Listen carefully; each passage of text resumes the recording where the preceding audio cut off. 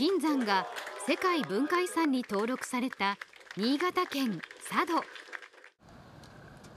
島を訪れる人は増加。観光業はどこも活況です。こちらのホテルも。8月は連日満室。最も忙しいチェックアウト後のおよそ5時間は数人のアルバイトに来てもらっています。働き手確保に一役買っているのが。マッチボックス大変助かってますね。で即来てもらえるっていうのはありがたいですよね。マッチボックスっていうのがあるっていうのを知ってすごくそのお仕事探しやすいですし。マッチボックスとは今佐渡で最も使われている佐渡限定のバイトアプリです4時間で4000円。佐渡金山の切符売り。洗い場の食器洗い。3時間40分で3800円。短時間1日単位で働けるいわゆる隙間バイトの求人サービスです。開始から1年3ヶ月。127の事業所が求人を掲載。登録人数は1700人以上。8月は708件がマッチングしました。隙間バイトは2020年頃から都市部を中心に広がり登録人数は延べ2500万人。人手不足解消の切り札になっています。ただ茶道大手アプリで検索すると募集は1件。こちらは0件。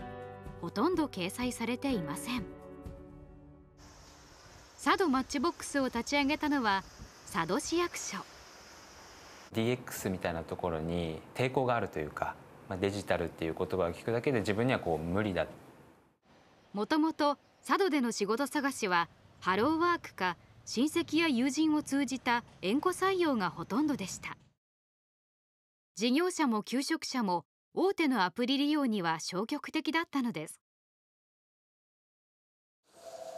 求人サイトの開発運営を担ったのが新潟市のスタートアップマッチボックステクノロジーズ。まさかこんなに応募が来るなんて思わなかったですと。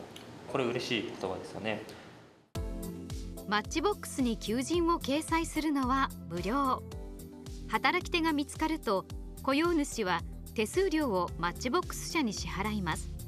手数料は給料の20%プラス1件あたり500円です。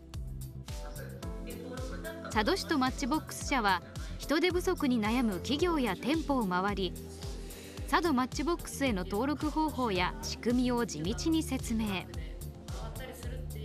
利用者側への PR も積極的に行いました。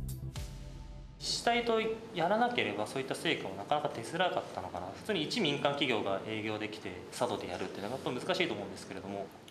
地方にある自治体では住民と行政の距離が近いところがあります。民間企業では難しい。パソコンやスマートフォンが苦手な高齢者に対してもきめ細かい指導ですとかサービスができるということも期待できるかと思います。佐渡マッチボックスは仲介手数料収入で運営コストを賄うことができていて事業の黒字化のめどが立っています。新潟県内では湯沢町や南魚沼市もマッチボックスを開設。さらに長野や静岡大阪など県外でも。その町限定の隙間バイトアプリは広がりを見せています。このローカルビジネスサテライトは日経電子版や TVH の YouTube で見ることができます。全国のさまざまな取り組みをお伝えしていますのでぜひご覧ください。